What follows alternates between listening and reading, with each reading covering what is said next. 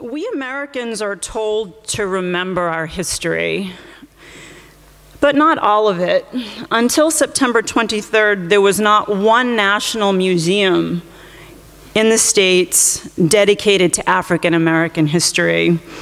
Uh, the Smithsonian's new Museum of African American History and Culture is took years and years and years to to open, and it's extraordinary that that preceded the opening of this exhibit here in Paris because both are landmarks and there's a lot of overlap between them. Um, some things that are not being shown in Paris are in the collection there, but they've borrowed video montage um, one exceptional um, series of photos on the Great Migration. Um, just, it, it's just really, really beautiful.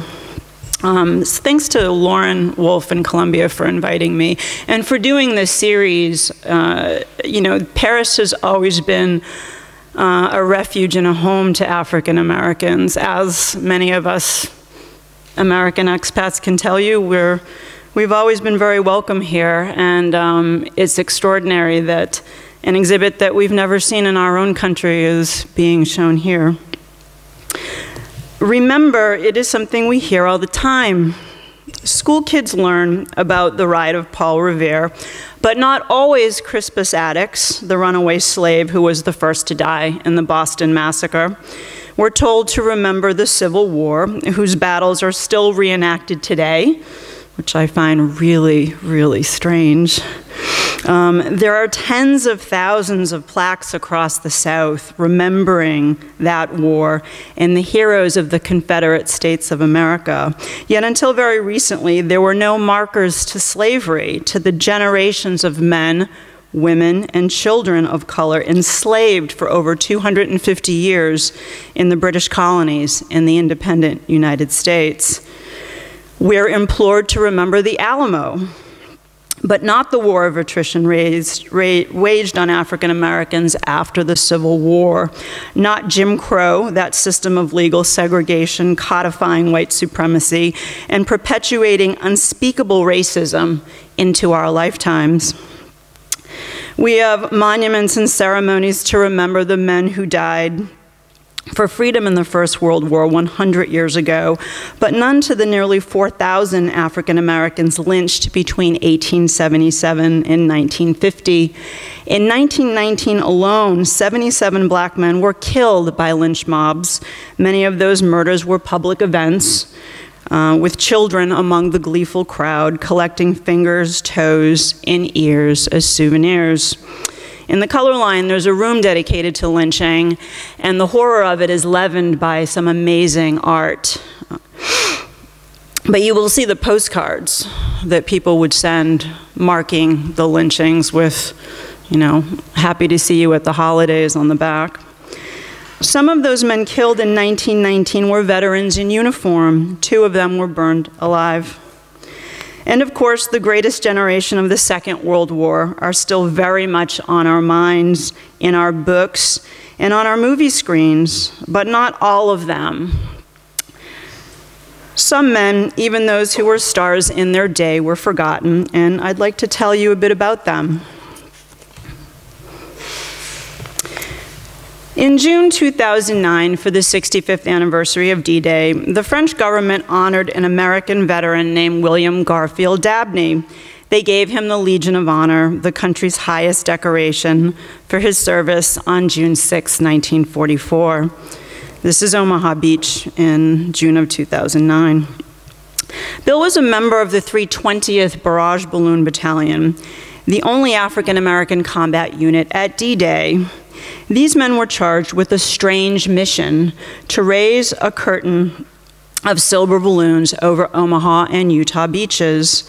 The balloons form a defensive curtain over the coast to protect the men and materiel from dive bombing German planes. This is the only known photograph of the 320th on Omaha Beach. If an enemy plane snagged the cable, it would become trapped as if in a spider's web a small bomb would descend, and if the strike was good, it would hit the wing or perhaps explode the gas tank. We reporters wrote about Bill Dabney in 2009 and noted that his battalion was all black. Well, what did that mean? Well, it meant that the enlisted men and some of the non commissioned officers were black. Perhaps a few of the officers up to first lieutenant in this unit were black, but the top officers were always white. And this is Colonel Leon J. Reed, the commander of the 320th. Unlike many, or perhaps the majority, of uh, black units in the Army, um, the commanders were typically reviled, but Leon Reed, uh, a Citadel graduate, product of Kentucky, was revered by his men. He was beloved. Bill Dabney received his medal in a ceremony at Invalides, that French temple to all things military. He's wearing it in the backyard of his home in Roanoke, Virginia, for me. Um, Napoleon is buried under the Gold Dome. I'm sure most of you have been there. It was quite a ceremony. After it, Bill shook the hands of Steven Spielberg and Tom Hanks. Bill had no idea who they were until his son told him after, Did you know whose hand you shook? But he knew very well about their movie and that there were no men of color storming Omaha Beach and saving Private Ryan, because all black veterans know this.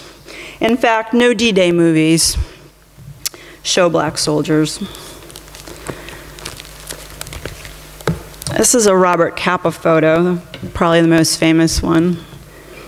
Uh, the photo on my book cover is also by Robert Capa. We were very happy to find it.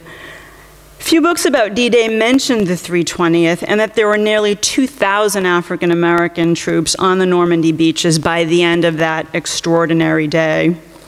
This is uh, Omaha Beach on June 7th, and you can see the barrage balloons flying.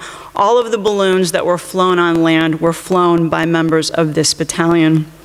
The 320th was among two black units given a commendation by General Eisenhower for their service, yet we don't know about them. Well, why does that matter? Well, there are many who consider D-Day to be the most important day or one of the most important of the 20th century. For the Allied commanders knew that if they could get the troops onto those beaches up and over those bluffs, it was only a matter of time until their troops would be marching through Berlin. I would argue that to exclude a significant proportion of our population from that epic day does America a tremendous disservice. The great General Omar Bradley said that all men who landed on Omaha Beach were heroes, yet there were heroes among the heroes. As I began my research into this book, I learned that one of the men of the 320th, a college student, would become a star in black America and beyond for his service on Omaha Beach. He would be nominated for the Medal of Honor. He would not get it. Sorry. None of the 1 million African Americans who served in World War II received America's highest honor until Bill Clinton awarded seven of them. Um, and this is Waverly Woodson, and this is his early Army picture. And this is um, the study, an epic study commissioned by the Army that led to those Medal of Honor um, awards by the president. Nine men were um, judged worthy of this medal, men who fought in World War in World War II, but only seven were given, and only one man was alive to receive the medal on that day at the White House. This extraordinary study showed that black soldiers, deserving black soldiers, were denied the decorations they deserved and the opportunities they deserved. And so I'd like to tell you a little bit more about Waverly Woodson. And I'll start with the approach to Omaha Beach, uh, early morning, June 6, 1944. Waverly Woodson squinted into the distance. From the deck of the boat, he could see little. A thick cloud blanket hung overhead, and the heavy air pressed in from all sides. Drenched fatigues clung to Woodson's weary limbs. For hours now, he had peered into the blackness. A stripe of pink brightened the eastern horizon, first light. In the dark, choppy waters of the English Channel, Woodson found serenity, even beauty. It would be one of his last tranquil moments on this very long day. It was a strange place to find peace. Above, the sky hummed with Allied planes, and all around, thousands of vessels of every size steamed toward France. On Woodson's ship, men were gray with seasickness. Their single Army issue vomit bag was long used up, so they heaved into their steel helmets, then tipped them over the side to be rinsed in the cresting swells. When that effort proved too much, they heaved wherever they could. Puddles of sick pooled at their ankles. The metal boat pitched forward and back with each roll. Dying would be better than this. Some of them said that. The storied channel had thwarted generations of marauders to keep Britannia safe, at least most of the time. The Roman Emperor Caligula's soldiers mutinied rather than sail these waters thick with mermaids. On this day, the invaders were heading in the opposite direction, their mission to conquer a continent systematically crushed by an enemy for whom freedom meant very little. To Woodson, freedom meant a great deal. He had lived it fully for the first time in a friendly village in England, where he'd met white people pleased to be his friend and a postmistress happy to dance with him. That might not have seemed like much to other men, but Woodson would never forget it. Deafening boom shook the men to their soaking boots as the great battleships opened fire, each blast of their guns lighting the murky dawn with flame and smoke. The noise was almost impossible to believe. To Ernest Hemingway, who was aboard a small boat in the channel that day, it sounded as though they were throwing whole railway cars across the sky. The powerful concussion reverberated through the fleet and struck your ear like a punch with a heavy, dry glove. An Associated Press reporter in one of those boats initially mistook the men's violent trembling for fear. Yet these men were ready. This was the day for which they had trained for years. For the British, with bitter memories of being driven back into the sea at Dunkirk in 1940, the wait had been far longer. The bombardment was an awesome display of might. Lieutenant General Omar Bradley, commander of the 1st U.S. Army, had promised his troops the greatest show on earth. The GIs and Tommies watching from the sea were certain that no enemy could survive it. For Woodson, this journey to France was a most unexpected chapter in his young life. Odds were low that a black man would be in this landing, yet Woodson was used to defying expectations. Unlike many of his friends in West Philadelphia, Woodson hadn't waited for a draft notice. He'd left his pre med studies at Pennsylvania's Lincoln University, where he was in his second year, and enlisted in the Army on December 15, 1942. His younger brother, Eugene Lloyd, had signed up too and was stationed in Texas with a unit of the Tuskegee Airmen. It was a source of tremendous pride for their parents, and the doings of the Woodson brothers would become regular items in the newspapers back home. There were two armies in America in World War II black and white. There were two of everything barracks, mess halls, service clubs, buses, and train cars. It was a highly inefficient and extremely expensive way to run an army. Yet there was one sector that was integrated officer candidate school. The Army didn't think black men were smart enough to score high enough on the entrance exam, an exam heavily weighted to favor whites, so they didn't bother to set up a separate system. But Waverly Woodson scored high on the test and trained as an anti aircraft artillery officer. In the end, there were no officer positions available to him. This was a common story for black officers whose service was limited by quotas and the rule that they not lead white officers junior to them. For, so Woodson was assigned to train as a medic with the 320th. On the morning of June 6th, he was headed for Omaha Beach with four other medics. In spite of the turbulent seas, the order to go had been a relief. Woodson and the four medics had endured several uncomfortable days aboard this metal bucket, jockeying for space with the five dozen men. Behind the boat carrying the medics, the rest of the 320th Barrage Balloon Battalion was scattered among more than 150 landing craft. Thousands of barrage balloons had been inflated in England by Royal Air Force crews and tethered to ships and smaller craft for the journey to France. Floating high above the ships, the balloons formed a miles wide aerial curtain, their shining silvery shapes carved in relief against the flat pewter sky.